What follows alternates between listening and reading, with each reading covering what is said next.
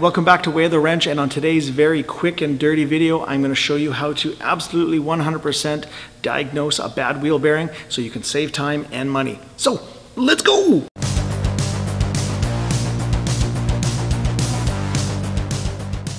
Alright, so in the shop today we've got a 2004 Toyota Highlander and the customer is complaining that when they're driving down the road they have a weird noise. So whenever I hear that, especially if it's speed dependent, I always think bad wheel bearing. Now, the very first thing any good mechanic should do is go for a road test and try to replicate that problem, replicate that symptom, and then go from there.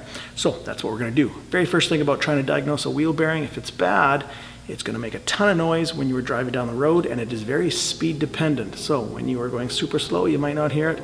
And as you get faster, it'll sound like a whirring or a grinding or a rumbling noise.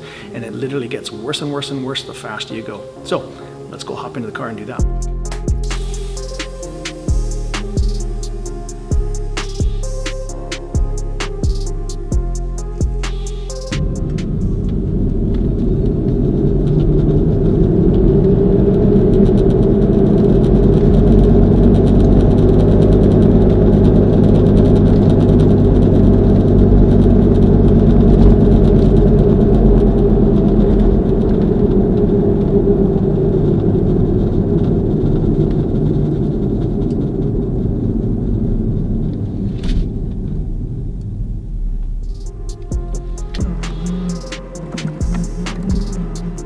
Now that we have done a road test and we have a suspected bad wheel bearing, the very next thing you need to do is get the vehicle lifted up off the ground so the wheels are not touching.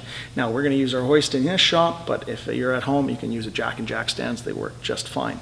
Now with the vehicle up off the ground, you're going to grab the left and right hand side of the wheel and give it a little shake. If there's any play or any kind of clunkiness, that's kind of one step further towards that is a bad wheel bearing.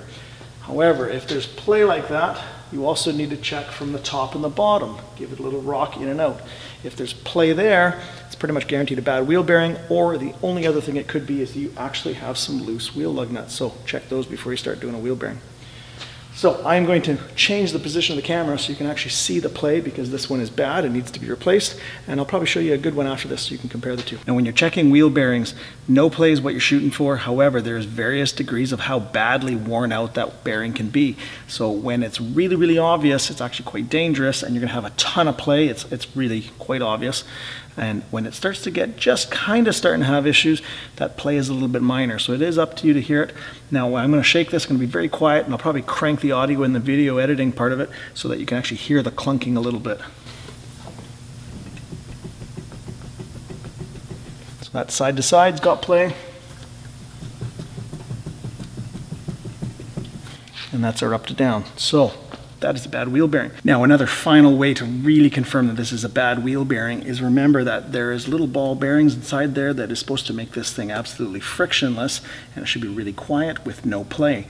So when this is spinning, the reason why it's making noise is because there's play, there's dirt, debris, there's damage inside that bearing and it's literally not rolling right and making noise. So although you heard it on the street, if it's really bad, you can actually just manually spin it by hand and hear what that sounds like. So uh, once again, I'll be really quiet and I'll crank it up in the audio editing part of the video so you can actually hear this. But um, you're not listening for the light sanding, scratching sound of the pads. What you're listening for is kind of like a tumbling rocks kind of growling sound. And it gets faster the faster you can spin it.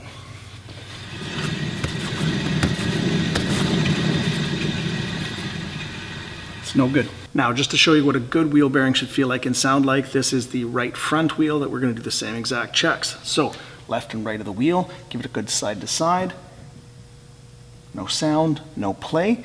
If you actually hear a loud clunk, and it sounds like it's coming from up top, it's because your steering lock is engaged. So what you do is you put your key in the ignition, make sure the steering wheel is unlocked, and then recheck that, and you'll find that that big clunking sound from up top goes away, and it doesn't feel like you have a bad wheel bearing anymore. So no play this way, up and down, no play, no sound. This should be a good wheel bearing. And to give you an idea of how it sounds, I'll spin this one up. There's no sound except maybe some slight scratching from the pads. Good bearing. Remember, when you're also doing this left and right, but it isn't up and down, that's not wheel bearing, and if it's the front, it's your steering. So you got to do this and start looking at your steering linkage, which we'll save that for a future video. Now, in this 2004 Toyota Highlander, the rear wheel bearings are actually one of these guys, which is called a wheel bearing hub assembly. And you can't really fix them. The bearings are all trapped inside, so you have to replace this whole thing as a unit, which sounds bad, but from a fixing point of view, it's actually a, a lot easier of a job. So what I'm going to do is I have an old one here from an old Toyota Echo that is bad, and I've actually got a brand new one still having to go into a vehicle, so I can spin these and show you what they sound like.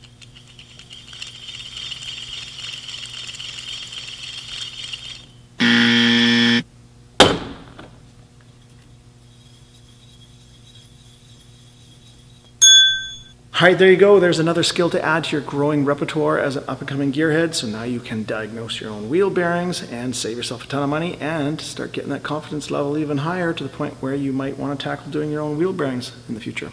So if you have any questions or concerns about the video, put them down below and I'll get back to you as soon as possible. And hey, if I was able to help you out and diagnose your wheel bearing at home, give me a like and a sub. That would be much appreciated.